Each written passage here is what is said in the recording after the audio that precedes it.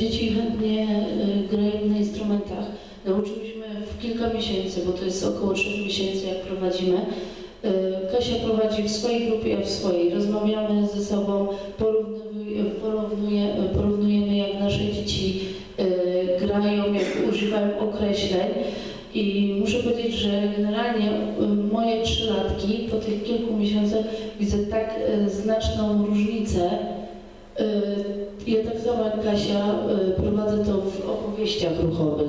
Łączę metodę w opowieściach ruchowych, prowadzę co środę e, takie zajęcia muzyczne.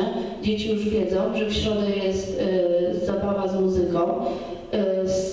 Jest różnie. Tu akurat mamy w, z krasnoludkami i tu robiliśmy muzykę du, durową i molową, określenie dur-mol. Mamy krasnale, no to są krasnale uśmiechnięte i smutne. I no, no, no generalnie dzieci naprawdę fajnie, e, fajnie zapamiętują. Teraz chcemy z Kasią przyjść przez następny, na następny poziom. I też właśnie tutaj na zajęciach są dzieci Kasi i moje. Chciałyśmy porównać, na jakim jesteśmy etapie.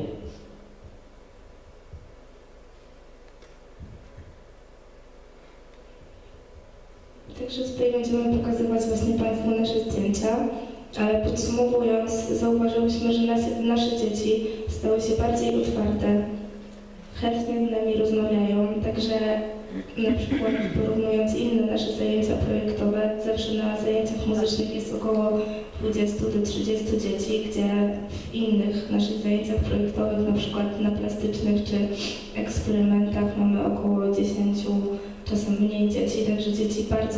przychodzą na te zajęcia, bardzo lubią grać na tych instrumentach, a także no, trzylatek, który słysząc muzykę wesołą mówi dur, a słysząc muzykę smutną mówi mol, to jest naprawdę miło to słyszeć i fajnie. I rodzice bardzo nam gratulują i są bardzo zadowoleni z tego, że dzieci już na tym etapie znają takie określenia.